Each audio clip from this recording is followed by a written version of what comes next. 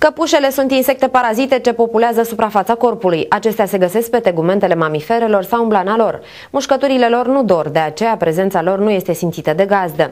În ultimul timp, tot mai mulți suceveni sunt înțepați de căpușe fără ca măcar să știe acest lucru.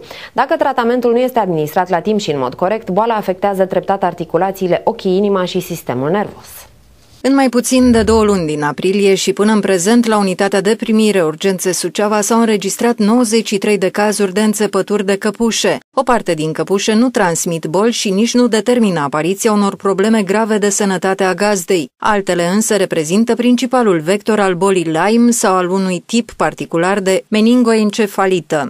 În uh, perioada lunilor aprilie, respectiv uh, mai, până la momentul actual, uh, s-au prezentat un număr de 93 de pacienți cu plăgi mușcate de căpușă. Repartiția Uh, pe sexe ar fi aproximativ egală, 46 respectiv 47 de bărbați femei, iar uh, din uh, ca și apartenență, la fel, aproximativ egal din mediul urban și rural. Ca și număr de copii, din cei 93, 33 au fost copii. Cel mai periculos ar fi apariția sindromului a bolii Lyme.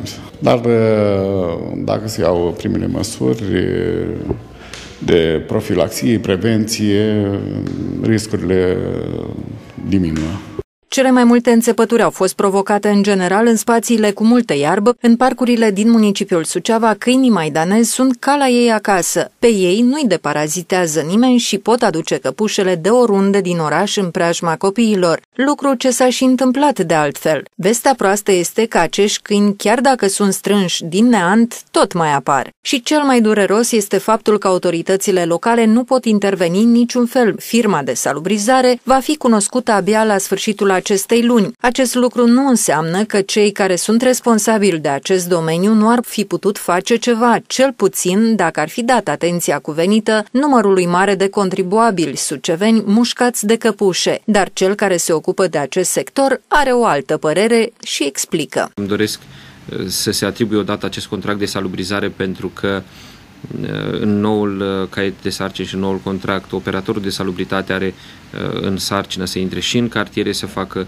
ordine și curățenie, drept pentru care puțini oameni care mai sunt la domeniul public vor avea timp să se ocupe și să igienizeze mult mai bine parcurile și spațiile de joacă. Ne sporim uh, rândurile echipelor care strâng câinii, întrucât este știu de către toată lumea.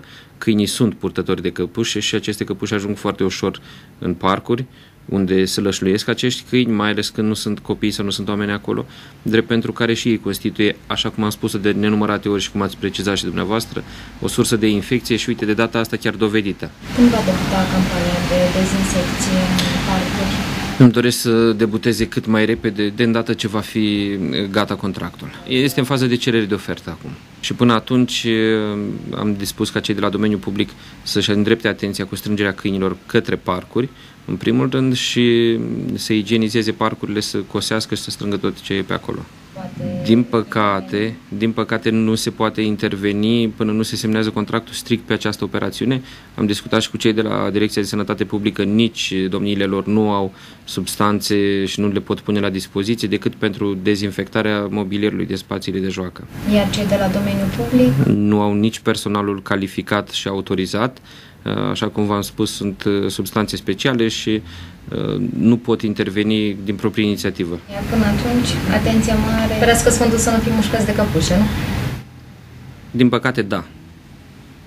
Spun din păcate pentru că asta este realitatea și trebuie să o recunoaștem. Așadar, suceveni, nu vă rămâne altceva de făcut decât să vă rugați să nu deveniți gazde ale căpușelor, pentru că autoritățile locale nu pot face nimic deocamdată pentru a vă feri de aceste insecte periculoase.